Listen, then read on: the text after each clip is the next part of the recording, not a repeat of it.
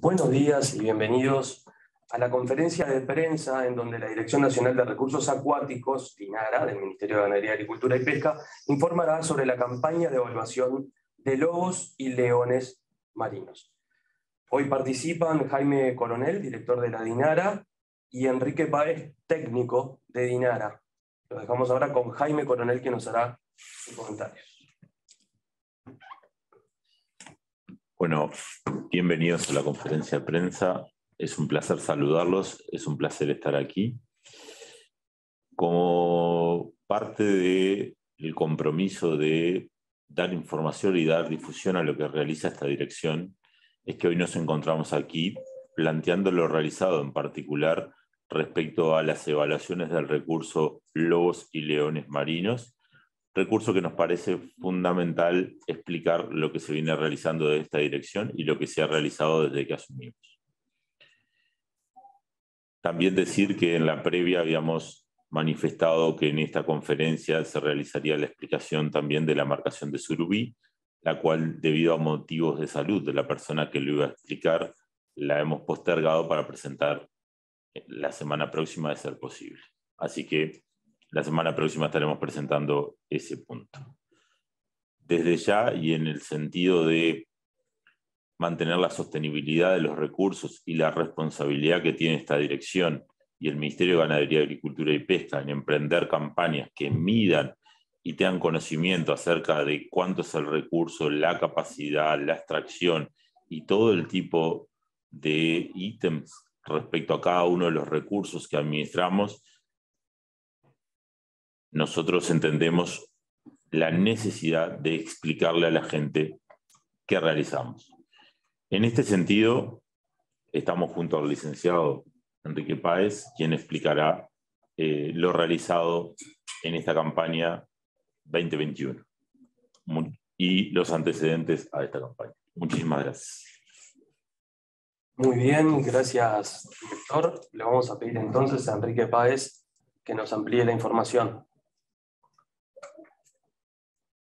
Bueno, muy bien. Eh, muy buenos días. Eh, lo que hoy vamos a presentar es la campaña de evaluación de lobos y leones marinos realizada por el Departamento de Biología Poblacional de la DINARA, fundamentalmente en aquello que corresponde a la estimación de abundancia de cachorros para el periodo 2021. Bueno, eh, nuevamente bienvenidos al fascinante mundo de los lobos y leones marinos, los cuales nos van a llevar en un pequeño viaje y rápido para saber qué es lo que tenemos en Uruguay. La Dinara administra dos especies, lobo fino y un león marino o pelucas. El periodo de áreas reproductivas de ambas especies. El lobo fino tiene un cachorro un único cachorro, al igual que los leones marinos. El lobo fino tiene la luz en diciembre, mientras que los leones marinos en el mes de enero. Entre una semana posterior a su nacimiento se producen las cópulas. Las áreas reproductivas son la isla y el islote Globo frente a Punta del Este, siguiente, y Cabo Polonio frente al cabo mismo y frente al Cerro de la Buenavista tenemos la isla del Marco, la isla Rasa y la isla Encantada. ¿Cómo se distribuye la abundancia de estas poblaciones? Lobos finos se encuentran 50 y 50 entre ambas áreas reproductivas, en tanto que los leones marinos entre el 80 y el 85% está presente exclusivamente en Cabo Polonio. ¿Qué es lo que vamos a ver hoy entonces? La planificación y diseño del muestreo, por qué, cómo, dónde y quién, algunos antecedentes y esa planificación específica de los muestreos. Después, lo que es específicamente la campaña de investigación, donde un primer muestreo se produce en diciembre, un segundo muestreo en, en enero y el tercer muestreo en febrero. El primer muestreo y segundo muestreo corresponde al lobo fino y el tercero a los leones marinos o pelucas. Y por último, lo que vamos a ver son los resultados de estas campañas de, evaluación. ¿Por qué, dónde y quién? El número de crías de ambas especies es un índice de abundancia más confiable. ¿Por qué? Porque son fáciles de reconocer y en segundo punto permanecen en tierra durante el periodo en que se realizan los muestreos.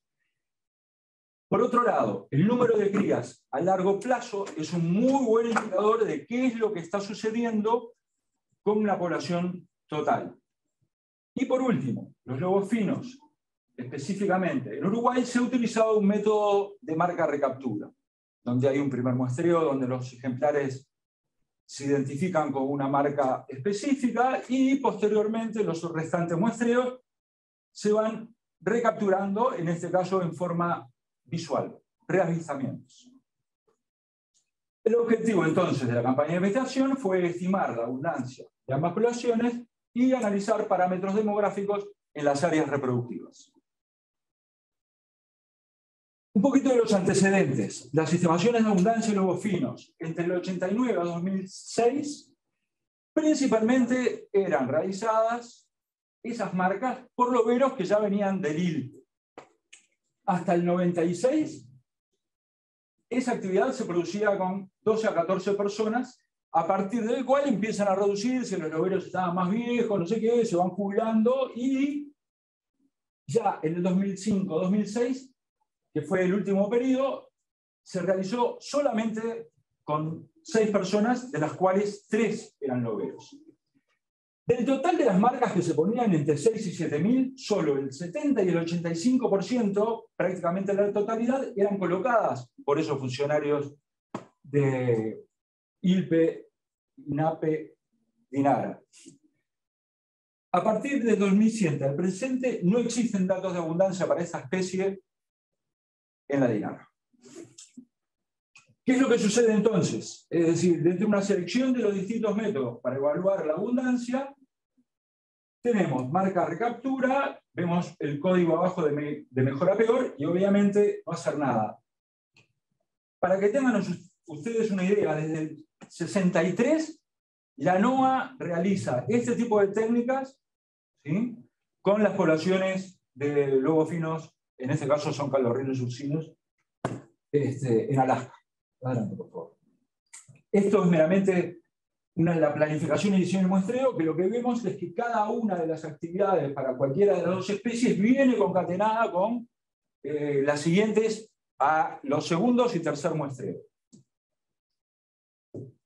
Rápidamente, eh, se utilizó una teoría combinatoria para saber cuál es, eh, para ver cuál es la mejor combinación de las zonas para poder evaluar con un menor esfuerzo.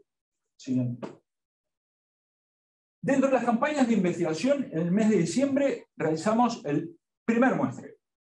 Allí se colocan marcas con caravanas numeradas para estudios de supervivencia, uno de los parámetros demográficos estudiados, una doble marca a esos cachorros que se marcaron este, en una zona específica de Isla de Lobos, con un corte de pelo, Después se toman medidas antropométricas en 250 cachorros en tres zonas de Isla de Lobos y en ese momento toma la decisión de planificar diseños de muestreo a través del dron en la zona de Cabo Polonio y algunas de Isla de Lobos. Eso es un ejemplo, fueron estudiantes de la Facultad de Veterinaria que estaban intentando realizar su, tesis y en la imágenes que vemos a la derecha, lo que tenemos fueron cachorros marcados por nosotros que aparecen en el mes de diciembre en la costa de Maldonado entre Punta del Este y José Ignacio. Esos animales fueron barrios que se producen tormentas de verano eh, cercanas a mediados de, mes de, a mediados de diciembre y siempre barren cachorros. Este año particularmente la mortalidad eh, fue elevada. Lo que vamos a ver a continuación es una imagen aérea del dron con la distribución espacial de los cachorros, de ejemplares marcados, agrupamiento de cachorros sin hembras, hembras y machos territoriales. Bueno, bien, ahí vemos la colocación de las marcas con el corte de pelo y las caravanas Solflex amarillas, donde cada animal es identificado. Hay grupos, no importa, había grupos de, cachorros que estaban sin hembras. Ahí volvimos. Eh, gracias. Grupos de cachorros sin hembras eh, sobre la parte baja de, de la foto y hembras que son más chicas, ahí hay dos machos territoriales, uno en el ángulo inferior derecho, ¿sí? Y hay una hembra ahí con cachorro, es decir, los cachorros que están con sus madres habitualmente, en ese momento, siguen permaneciendo al lado de sus madres. Los otros, que la madre o fue a termorregular al mar o fue como viaje de alimentación, es decir, tienden a agruparse, a piñarse, ¿sí? formando spot en las áreas reproductivas. Dentro de la campaña de investigación, el segundo muestreo. Había un convenio con la Facultad de Veterinaria para un apoyo a las tareas de marcado que desgraciadamente fue cancelado por COVID. Entonces, ¿bien? ¿Cuáles fueron las alternativas? ¿Ah? Se elimina el método marcadeo recaptura, lamentablemente, la opción de hacer un método combinado también, y por suerte eh, nos quedaba la opción de hacer un método de conteos directos. Recordemos también que dijimos que aquellos métodos de conteos directos en poblaciones con altas densidades o muy grandes no es la mejor opción.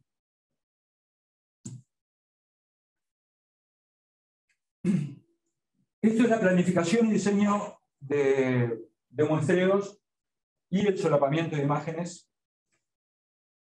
Ahí lo que vemos es una aplicación que le permite al dron generar un muestreo a través de transectas que cada una de ellas tiene un solapamiento en cada una de las imágenes.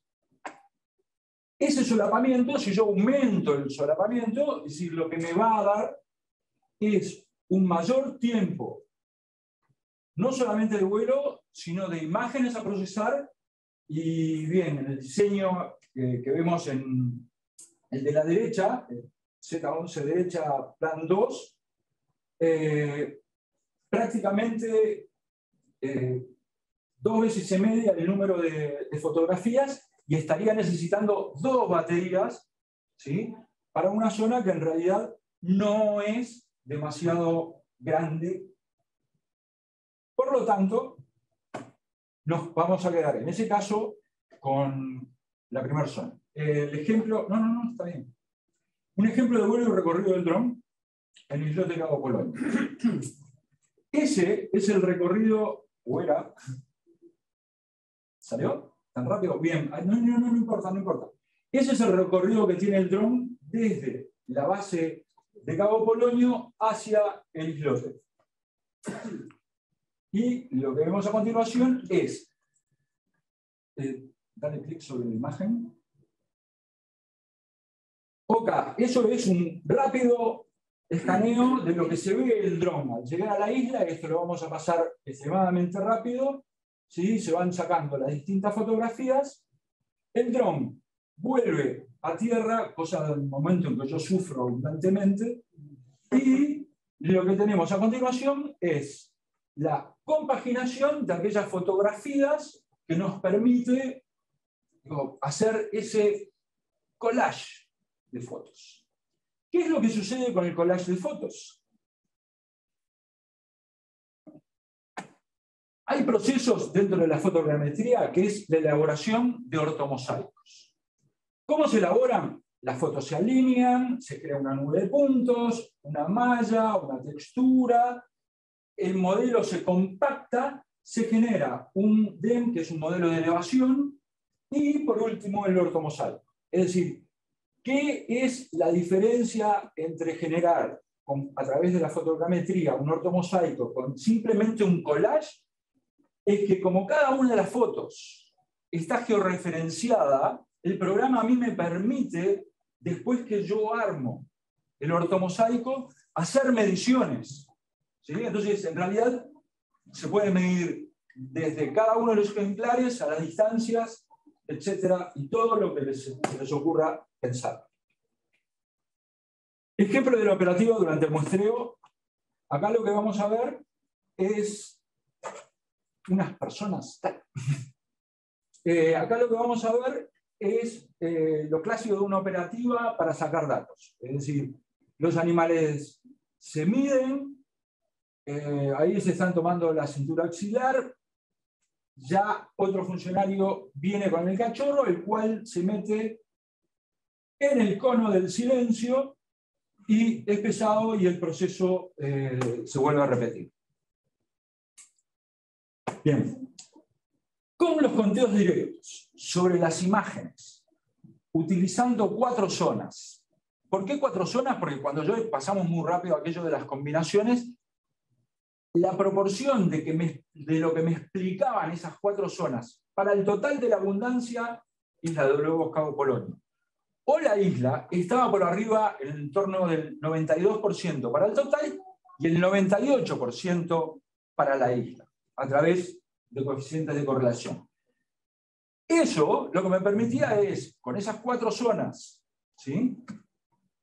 Y calculando a través de una regresión de esas, de esas zonas con el total de la abundancia para la serie de datos entre el 90 y el 2006, se estima, por fin llegamos, a la abundancia de cachorros para la totalidad de las áreas reproductivas. ¿Y qué es lo que tuvimos como resultado? Es que nacieron 56.900, 57.000 a 60.000 cachorros de lobos finos en el mes de diciembre. Bueno, un poco de, eh, un poco humor. Algo sobre tecnología. ¿Qué es Python? Python es un lenguaje multiplataforma que nos permite trabajar en inteligencia artificial, machine learning, deep learning, data science y demás. Este lo que, lo que hice fue programar en inteligencia artificial conteos automáticos sobre imágenes. Esto tiene un problema que es el ingreso de información. Se necesita una gran cantidad de, información para suministrarle al, modelo. El ejemplo es la ANOVA. Y hasta el momento nos falta un equipo con capacidad de procesamiento. Y lo que vamos a ver a continuación es un mero ejemplo en gaviotines este, de la Isla Verde. Bien, pasamos al tercer muestreo y cambiamos de especie. ¿Sí? Pasamos ahora a hablar de leones marinos. La campaña de investigación del mes de febrero era estimar la abundancia de leones marinos.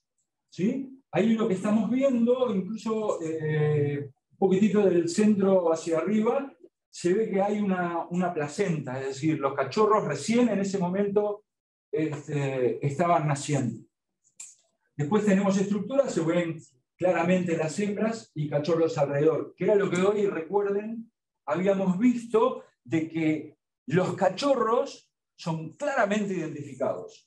Siguiente, por favor. Y ahí vemos la estructura clásica de un harén con un macho reproductor enorme. Piensen que estos animales llegan a pesar entre 400 y 500 kilos en pleno periodo reproductor, realmente un bello animal, con hembras alrededor que pesan hasta los 120, 130, dependiendo de, su genética y la edad, obviamente, y esas cositas negras, manchaditas, eh, unos rollos ahí, este, son los cachorritos de peluca. Adelante. ¿Cuál es la metodología entonces que utilizamos? Recuerden, fue la de los conteos directos con el dron. Un ejemplo de las densidades de qué es lo que pasó, por ejemplo, en la isla encantada en Cabo Polonio. Ahí lo que vemos son el croquis de la isla con eh, colores térmicos, digamos. El primero eh, es la totalidad de animales. Vemos que los animales no están en toda la isla, la segunda de color verde son de cachorros, las siguientes son de hembras, pasamos a la línea de abajo, machos, juveniles, subadultos, y por último aquello del spot eh, reproductor, ¿sí? Eh, la parte hot de, de la isla. ¿Qué es lo más interesante más allá de las densidades? Digo, que están mostradas ahí, es que con el dron puedo identificar cada una de las clases en el momento del periodo reproductor de los ejemplares que están presentes arriba de la isla. Siguiente. Extrapolando entonces los valores de dos de las tres islas, una de las islas lamentablemente no pudo ser volada por cuestiones de tiempo y cuando el tiempo lo permitió, lamentablemente ese domingo había una tormenta magnética y eh, el dron no responde de la misma manera que en otras situaciones. Por lo tanto, las áreas reproductivas se estimó que el número de cachorros nacidos para de leones marinos para el total de las áreas reproductivas fue de 2.865. Obviamente hay intervalos de confianza. Es decir, estamos hablando de unos 3.000 ejemplares de cachorritos de peluca. Por lo tanto, la población mantiene una tasa de crecimiento anual para el periodo 2010 al 2022 de un 4,4%.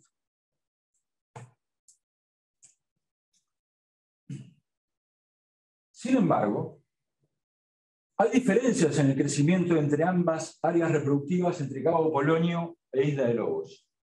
¿Qué es lo que sucede? Mientras en Cabo Polonio los leones marinos están creciendo a un 5%, en Isla de Lobos no. Desde el 2010 a la fecha, la población no ha crecido. Esto es importantísimo ya que en las islas de Cabo Polonio la población de leones marinos nunca dejó de crecer.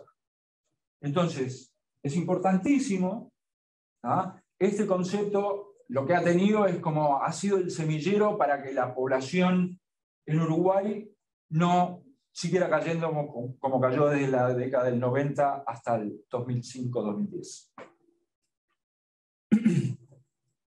Por lo tanto, en diciembre del 2021 nacieron entre 57 a 61 mil cachorros de lobos finos. En febrero nacieron entre 2.800 a 3.000 cachorros de leones marinos y la población de leones marinos sigue creciendo en los últimos 12 años. ¿Qué es eh, lo que sigue? Sin lugar a dudas, eh, ampliar los estudios demográficos sobre ambas poblaciones, generar un programa de marcado para conocer nuevamente las estructuras poblacionales, es decir, un programa de estudios de abundancia a largo plazo, un programa poco más adelante de mitigación eh, de la interacción con las pesquerías. Y bien, hasta aquí llegamos. Espero que no haya sido muy aburrido. Eh, Muchas gracias. Muchas gracias, Enrique. Muy didáctica la presentación. Vamos a darle la palabra entonces ahora a Jaime Coronel para que se haga sus comentarios finales. Bien. Este trabajo presentado, entendemos, eh, permite analizar los crecimientos y las variaciones en las poblaciones de lobos y leones marinos nos parece importante que la población en general conozca lo que se viene haciendo, conozca lo que se viene realizando y cuál es el comportamiento de estos recursos. Así que esto es una forma más de mostrar lo que se realiza a través de este ministerio. Muchísimas gracias a todos y quedamos a la espera de cualquier consulta si es que existe o que se dirijan a la dirección en caso de que la quieran realizar por fuera de esta conferencia. Muchas gracias. Muchas gracias, señor director. Reiteramos el agradecimiento a quienes concurrieron a esta conferencia de prensa. Eh, les, recordamos que todos los materiales aquí expuestos quedarán colgados en nuestro canal de YouTube, así como también en los links a través de, nuestra, de nuestras redes y en nuestra web mgap.book.uy.